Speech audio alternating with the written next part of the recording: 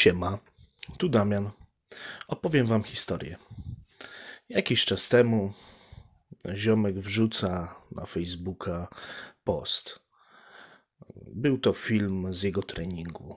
Kilka powtórzeń, dipy, ponad 100 kilo podwieszone pod jajami. Byłem pod wielkim wrażeniem, gościu silny jak cholera. No ale potem zacząłem czytać komentarze. I zaczęło się. Poczułem się jak ten CJ z GTA San Andreas. Oh shit, here we go again. No i co? Komentarze typu rozjebiesz sobie łokcie, a bo to źle, a czemu nie schodzisz niżej i tak dalej, i tak dalej. Gość y, trenował, trenuje nadal street lifting i tłumaczył pod niektórymi komentarzami, że takie są zasady na zawodach i tak właśnie robi, jak na zawodach. Już pomijam fakt, że niektórzy wykazali się fantastyczną umiejętnością e, najwyraźniej prześwietlania za, za pomocą filmów czyichś rąk i stwierdzili, że gość robi przeprosty, a moim zdaniem e, miał tak e, wielkie te tricepsy, że ze względu na swoistą, mm, jakby to ująć, takie złudzenie optyczne, wyglądało to faktycznie jakby robił przeprost. No ale moim zdaniem po prostu łokcie były zablokowane. No i teraz tak. E, sporo osób mm, zamyka się w jakiejś swojej małej niszy. Obejrzało kilka filmów, głównie dla początkujących, gdzie mówi się o bezpieczeństwie dźwigania, bezpieczeństwie ćwiczeń, takim swoistym BHP, które jest bardzo ważne. No i całkiem niedawno, bo jeszcze parę lat temu, było często zaniedbywane. Ludzie nie interesowali się tym za bardzo. No ale oczywiście, jak to zwykle bywa, żyjemy w świecie skrajności. Niektórzy wzięli sobie to za bardzo do serca, E, i jadą teraz nawet po profesjonalistach. I teraz jaka jest różnica między sportowcem wyczynowym, a człowiekiem, który sobie ćwiczy gdzieś tam na siłowni, żeby mieć sześciopak na lato, żeby było wszystko pięknie, fajnie. E, dla niektórych ważniejsza jest specyficzność danego sportu. No weźmy tutaj pod uwagę trójbój siłowy na przykład. Chodzi o to, żeby dźwignąć jak najwięcej. Technika wykonywania ćwiczenia jest um, optymalna pod tym kątem, żeby dźwignąć jak najwięcej. Nie zawsze musi ona się przekładać bezpośrednio na bezpieczeństwo. Aczkolwiek dobrze by było, jakby tak się działo. Są jeszcze inne sporty, które są bardziej specyficzne, na przykład y, siłowanie na rękę. E, arm wrestling. No i tutaj podejrzewam, że jakby większość takich y, ziomków z neta zobaczyła w jaki sposób ci atleci trenują, w jaki sposób y, ćwiczą na przykład bicepsy, to by się złapali za głowę i wrzuciliby to na jeden z fanpage'y wyśmiewających y, technikę sportów siłowych albo coś w tym stylu. E, dlatego się wcale nie dziwię, że army wrestlerzy raczej są zamknięci w swoich niszach, gdzieś tam w swoich grupach i sobie trenują. E, oczywiście nie mówię, żeby trenować jak popierdolonym, bo ja chcę, załóżmy, nie wiem, zostać e, kulomiotem, więc będę nagle odbijał od klatki piersiowej 200-kilową sztangę po to, żeby wygenerować jak najwięcej siły i i tak to jest, i sport jest ciężki, i trzeba zapierdalać mimo kontuzji.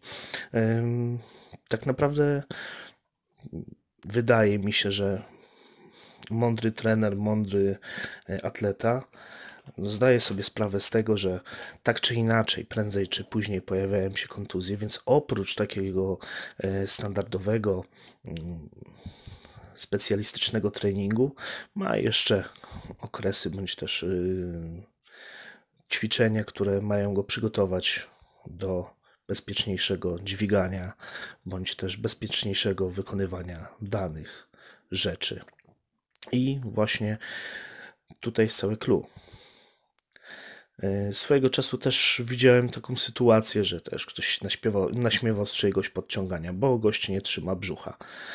Chuj, że zrobił chyba 20 parę powtórzeń, ważąc grubo ponad stówę, no ale gościu miał puszczone lędźwia i wszyscy krzyczeli, że y, kręgosłup sobie rozjebiesz. No, no nie, no już pomijając fakt, że y, trakcja jest zbyt mała, żeby uszkodzić kręgosłup w ten sposób, tam tych przeciążeń jest bardzo niewiele, to jest jeszcze taka sprawa, że y, takie klasyczne, siłowe podciąganie z, ze spiętym core, z neutralnie ustawioną miednicą, z nogami nieco wychylonymi do przodu.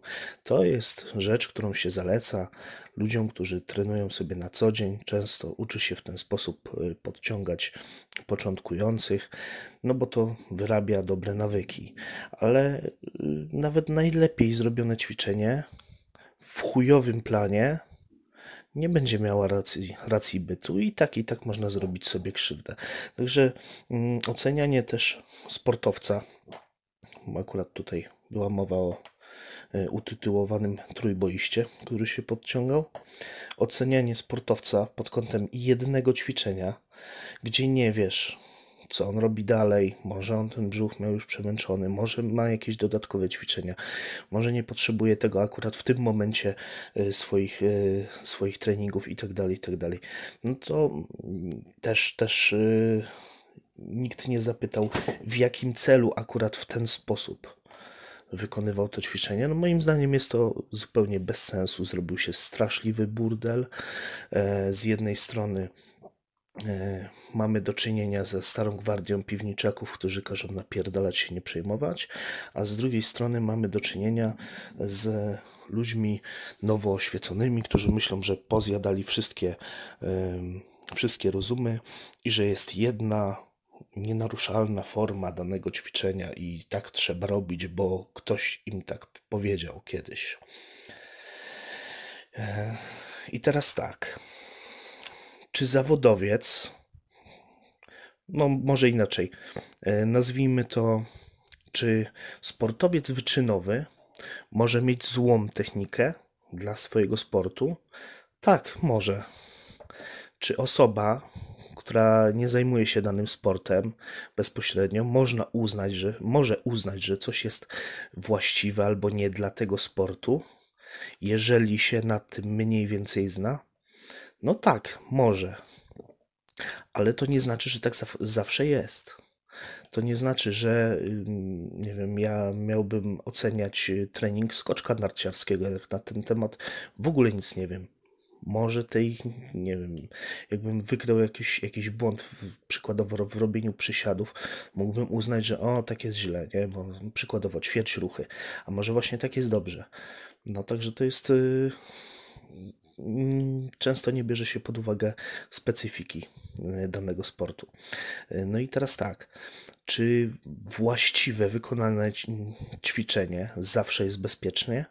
Bezpieczne? No nie zawsze, bo dużo zmiennych się na to e, składa.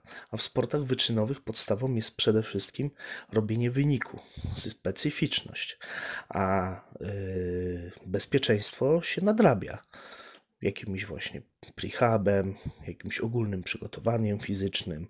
No tak przynajmniej moim skromnym zdaniem powinno być.